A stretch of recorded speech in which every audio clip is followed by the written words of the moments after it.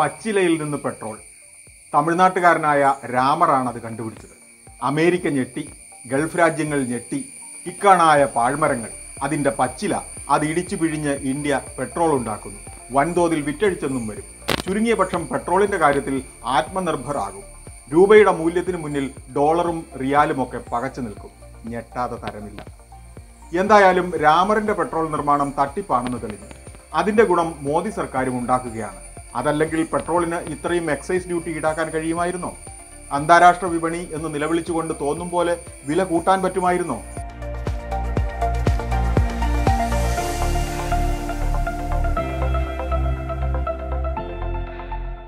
രാമർ പച്ചില പിഴിഞ്ഞിട്ട് പെട്രോൾ വന്നില്ല. സർക്കാർ ജനത്തെ പിഴിഞ്ഞ് നികുതി കൊള്ള നടത്തുന്നു. എന്താ പെട്രോളിന്റെ വില?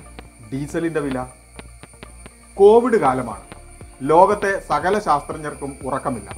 മാസങ്ങൾ പലത് കഴിഞ്ഞിട്ടും കോവിഡിന് മരുന്നില്ല. ട്രംപും മോദിയും ഒക്കെ അവരുടെ നേരെ നോക്കി നിങ്ങളെ എന്തിനു കൊള്ളാം എന്ന് ചോദിക്കുന്നു. യോഗ സ്വാമി രാംദേവും അത് തന്നെയാണ് ചോദിക്കുന്നത്. ഇവരെയൊക്കെ എന്തിനു കൊള്ളാം? ദാ കോവിഡിന് സ്വാമി മരുന്ന് കണ്ടുപിടിച്ചിരിക്കുന്നു. കൊറോണിൽ വെറും അഞ്ഞൂറ്റി നാൽപ്പത്തിയഞ്ച് രൂപയ്ക്ക്. ആരും ഞെട്ടുന്നില്ലേ?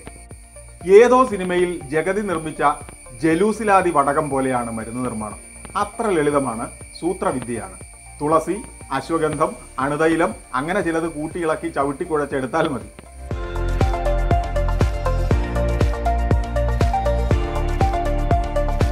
മരുന്നുണ്ടാക്കുക മാത്രമല്ല വിപണിയിൽ ഇറക്കുകയും ചെയ്തു സ്വാമി. സ്വാമിയുടെ പതാഞ്ജലി ഓൺലൈനിൽ വീട്ടിലെത്തിക്കും. വമ്പൻ പരസ്യം. പക്ഷേ ഈ മരുന്നൊക്കെ നിർമ്മിക്കാൻ ചില ചിട്ടവട്ടങ്ങളൊക്കെ ഇല്ലേ?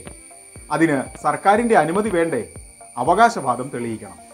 ചേരുവ ഏതൊക്കെയെന്ന് സർക്കാരിനെ അറിയിക്കണം. ഔഷധ നിർമ്മാണ രംഗത്തെ സദാചാരം പാലിക്കപ്പെടണം. ക്ലിനിക്കൽ പരീക്ഷണം നടക്കണം. വിദഗ്ധർക്ക് ബോധ്യപ്പെടണം. അങ്ങനെ ഒരുപാട് കടമ്പ കടന്നാണ് മരുന്നുകൾ വിപണിയിലിറക്കുന്നത്. കോവിഡിനുള്ള മരുന്ന് അന്താരാഷ്ട്ര സമൂഹത്തിനും ബോധ്യപ്പെടേണ്ട ഒന്നാണ്. സ്വാമി ഉണ്ടാക്കി സ്വാമി പരീക്ഷിച്ചു സ്വാമി വിൽക്കുന്നു എന്ന് പറഞ്ഞാൽ പോരാ. സ്വാമി എന്ന് വെച്ചാൽ ആശാൻ ആശയ ഗംഭീരനാണ്. ലോക്പാൽ സമരകാലത്ത് രാംലീല മൈതാനിയിൽ നിന്ന് പോലീസിനെ വെട്ടിക്കാൻ പെൺവേഷം കെട്ടി ഓടിയ പഴയ സ്വാമിയല്ല ഇന്നത്തെ സ്വാമി. രാംദേവിന്റെ മരുന്നുകളിൽ എല്ല് പൊടിച്ചതുമുണ്ടെന്ന് വൃന്ദാക്കാരാട്ട് പരാതി അയച്ച കാലത്തല്ല സ്വാമി വിരാജിക്കുന്നത്. കൂട്ടത്തിലുള്ള ബാലകൃഷ്ണനെതിരെ ഉണ്ടായിരുന്ന പാസ്പോർട്ട് അടക്കം പലവിധ കേസൊക്കെ വായുവിൽ വിലയം പ്രാപിച്ചു. പ്രധാനമന്ത്രി നരേന്ദ്രമോദിയിൽ തുടങ്ങുന്ന പലവിധ ബന്ധങ്ങളാണ്. വന്നു വന്ന് ഇപ്പോൾ യോഗ കണ്ടുപിടിച്ചതും ആയുർവേദം കണ്ടുപിടിച്ചതുമൊക്കെ സ്വാമി എന്ന മട്ടിലാണ് കാര്യങ്ങൾ. യോഗ പ്രചാരണത്തിന്റെ ബ്രാൻഡ് അംബാസിഡറാണ്. ഞെളിഞ്ഞും വളഞ്ഞും പുളഞ്ഞുമൊക്കെ പലവിധ കോപ്രായങ്ങൾ. ടി വിയിൽ ലൈവ് പരിപാടികൾ. ഹരിയാനയിലെ ബി ജെ പി സർക്കാർ ക്യാബിനറ്റ് പദവി നൽകിയിട്ടുണ്ട്. യോഗയും ആയുർവേദവും പയറുപൊടിയുമൊക്കെ പതാഞ്ജലി വഴി വിറ്റുകൊയ്യുന്നത് കോടികളാണ്. ആയുർവേദത്തിന്റെയും യോഗയുടെയും ബാനറിൽ നൂഡിൽസ് വരെ ഇറക്കിയിട്ടുണ്ട് സ്വാമി. ശരിക്കും യോഗയല്ല എല്ലാം സ്വാമിയുടെ യോഗം. ബി ജെ പി അധികാരത്തിൽ വന്ന ശേഷം ഗജകേസരി യോഗം. അത്യാഡംബര സന്യാസ ജീവിതം. കോവിഡ് മരുന്നിന്റെ കാര്യത്തിലും ഭരണത്തിന്റെ സ്റ്റിയറിംഗ് പിടിക്കുന്നവർ സഹായിക്കുമെന്ന് കരുതി. സഹായിക്കാൻ താല്പര്യമില്ലാഞ്ഞിട്ടല്ല പക്ഷേ രാമർ പെട്രോളിന്റെ മാതിരി കാട്ടിക്കൂട്ടിയാൽ എന്തു ചെയ്യും? സർക്കാരാണ് ലോകത്തോട് മറുപടി പറയേണ്ടതുണ്ട്. ജലദോഷവും പനിയും പ്രതിരോധിക്കുന്ന മരുന്നിന്റെ ലൈസൻസിനാണ് സ്വാമി അപേക്ഷ കൊടുത്തത്. എന്നിട്ടാണ് കോവിഡ് മരുന്നാണെന്ന് പറഞ്ഞുള്ള വിൽപ്പന. കേസ് പലതാണ്. തെറ്റായ അവകാശവാദം തെറ്റായ ബ്രാൻഡിങ് ജനങ്ങളെ തെറ്റിദ്ധരിപ്പിക്കൽ സർക്കാരിന് എതിർക്കാതെ വയ്യ.